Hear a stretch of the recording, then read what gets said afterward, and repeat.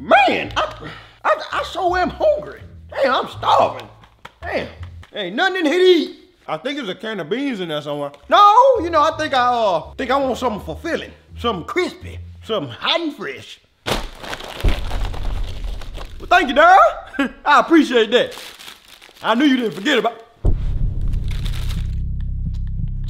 You you uh got anything else in that bag? Oh.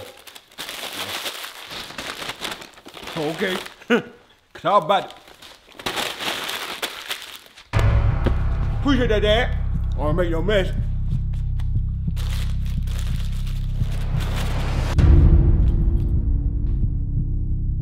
Give me the sandwich. No, Dad, that's not fair. This is my food. I'm still hungry. You gotta go get your own.